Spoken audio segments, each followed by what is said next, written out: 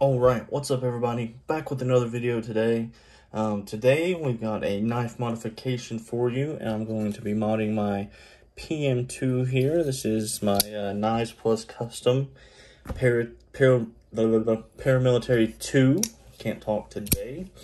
So this one has their uh, acid stonewash uh, blade finish, their raindrop carbon fiber scales, uh, I'm sorry, Flytanium calls theirs raindrop carbon fiber. These are Knives Plus Damascus carbon fiber scales. And the big reason I went with these um, is because Flytanium hates lefties and will not put two tiny little clip screw holes in the left side of their knife scales. Um, I really don't think it makes the knife look any worse. That's just my opinion personally. And is it biased? Absolutely, because I'm a lefty. So um, I think way more companies should do left-handed holes. Um, and, and, even for the fact that I know a lot of righties that carry left-handed because they put their phone and stuff in their right-handed pockets. But anyways, you, you can see here a little bit the uh, finish that's kind of wore off there. And it had a little rust spot on it. And I tried to scrub it off and it took the... Uh, acid etching off. So anyways, what we've got for this today is the Rock Scale Designs Pellet Paramilitary 2 Backspacer and Graphite. Check it out here. Uh, check the color.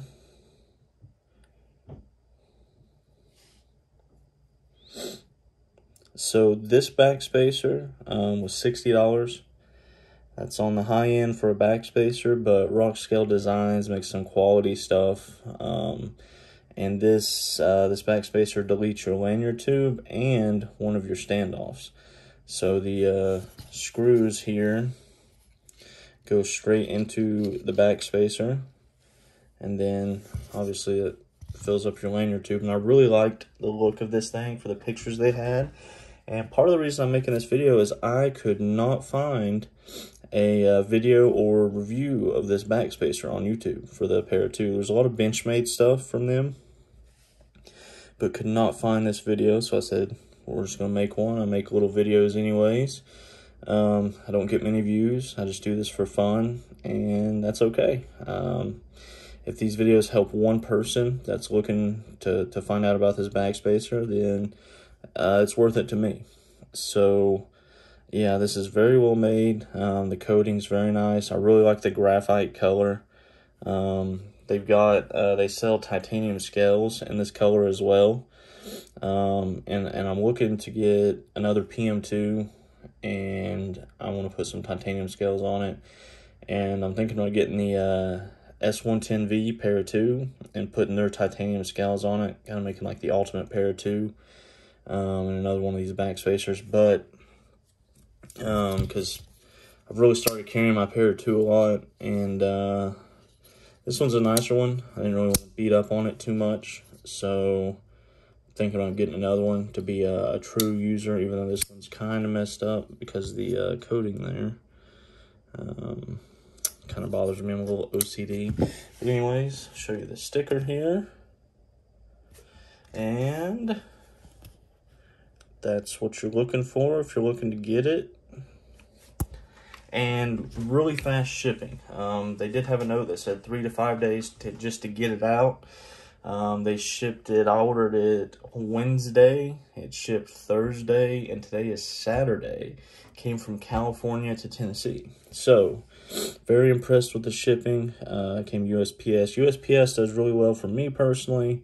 I've had more problems with FedEx and UPS than USPS by far. And I still had some problems, but but yeah, I just want to show you guys this backspacer. I am about to install it, so you can see it on the knife. So let's go ahead and get into that. Um, I'm going to take this side off here. T10, T8. And I do have my little Wiha bit set here. Um, absolutely fantastic purchase. Uh, I was kind of debating on whether I really needed one, and I'm super happy after getting it. The T6, um, it gives you so much confidence. I feel like you would snap the head off of a screw before you stripped it out um, with this Wiha T6 bit driver. So, Para 2, nice and simple, only three screws.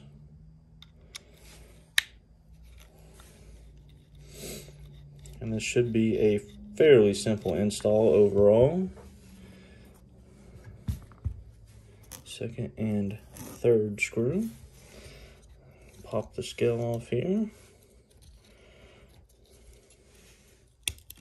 And your liner.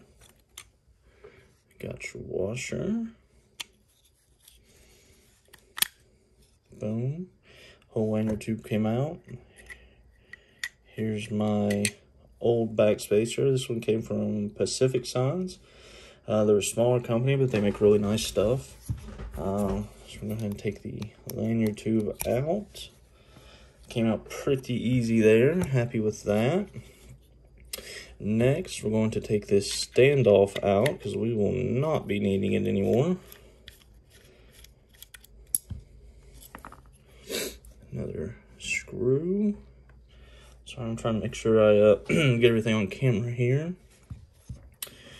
While we're in here, take a Q-tip and clean around the pivot a little bit. Clean off my stand off here a little bit. Uh, a little drop of oil on there. That's way too much. Soak a little bit back up here. There we go. Sorry, I messed my camera up there. All right, now let's see how this fits in here. See how this snaps in. Oh, perfect. It just sets in there. Um, let's install this screw back in this side here. Sorry, I gotta take it off camera for a second. Okay, kind of set it in there, lined it up. Screws right in, absolutely fantastically. All right, clean off my pivot here. Pivot area, I should say. Golly, I need to adjust my oil nozzle there. Shooting out of time. Let's slap this back together here. Boom. That's, uh, that's all she wrote. Get my screws back in.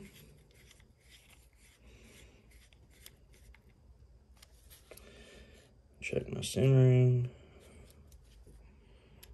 Put the screw back in that screws into the back spacer.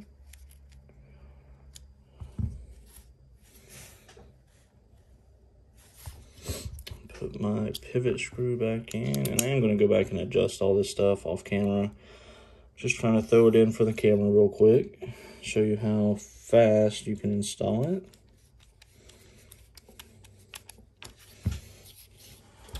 wiper down.